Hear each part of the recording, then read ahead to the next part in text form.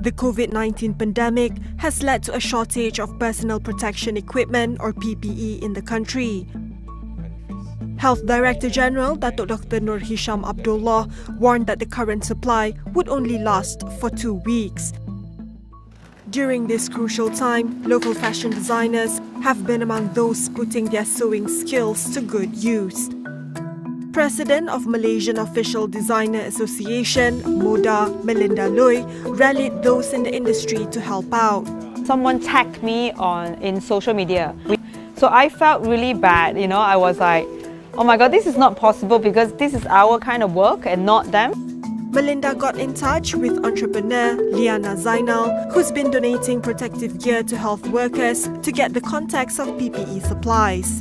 And Liana you know, told me that yes, they have tons of material in the hospitals, they just need someone to help them. So then they say, HKL can issue letter for MODA and you guys can, you know, start your work. So that's how we started. Then when I posted the videos asking for help, we need home sewers, we need home-based seamstresses to help us to sew. Khoon Hooi was the first one who called me. Mel, how can I help? You know, how much is the roll of material? We can buy more. I can buy and then I can also help you to sew and cut. Then continue, it was Alia Bastamam, then you know, Innai Red called me and then you know, uh, they got connected with other designers as well. Everybody was like really putting their heart into this and, uh, and it became boom. Moda also received help from Fashion Valet founder Datin Vivi Yusof, who raised around 300,000 ringgit to buy PPE materials. Every day, one big hospital easily throw away a few thousand pieces. The consumption is so high that even though government is preparing a lot, but it still may not be enough. In the first week, we produced 4,500 pieces.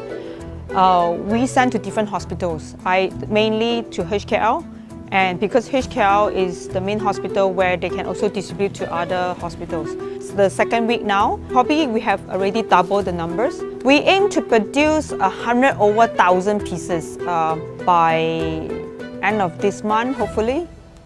To date, Moda has around 60 designers and home sewers.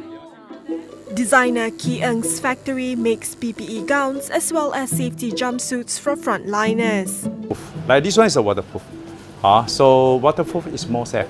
So I'm doing the gown and the head and the uh, suit, and I do the jumpsuit as well. But this jumpsuit is more waterproof, more safety, like, like this. Uh, yeah, for the doctor. Start, I not much people to do because first thing I need make sure my staff safe and clean. I have two cutter to doing. Then I cut, I have to cut as well. Uh, one day uh, I can cut few hundred to few thousand pieces. Then in sewing, and one day I can uh, uh, sewing around like uh, three to five hundred pieces. Fashion label Innai Red was approached by Selayang Hospital for their service. My, so what I do is I get them to work by rotation. The first batch that we received from Moda, uh, we managed to get it done within slightly short than three days. So, and that was also successfully delivered to HKL.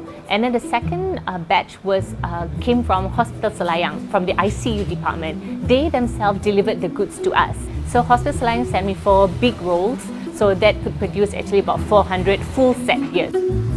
Mimpi Kita founder Nurul Zulkifli encouraged her team of young workers to seize the opportunity to serve their country.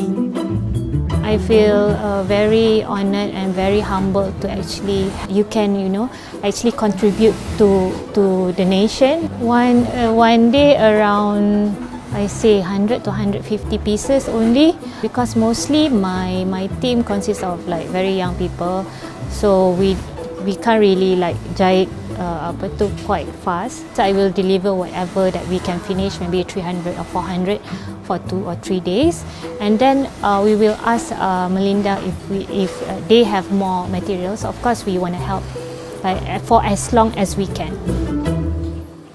Um, I myself, with Raya coming, this is the only time that you know we can usually make extra to cover for the losses that we make. It's a um, challenge, but um, I take it positively. Uh, positively. Um, I prepare for the worst, but also hope for the best. Uh, like work extra, extra hard to actually sustain. This is not the time to make money extra, but just to sustain and just to like uh, do our responsibility to actually give to our staff.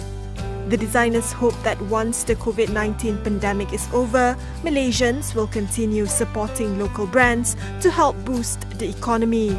After this pandemic and everything has things have slowed down and we are going to grow back economically and um, getting ourselves uh, better in physically and mentally, I also think that they will be supporting a lot more local brands, lo not just designers, but local brands in general better.